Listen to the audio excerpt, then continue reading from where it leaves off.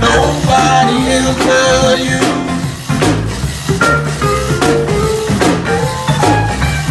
I just want you to hold my hand, take me to the promised land. I don't want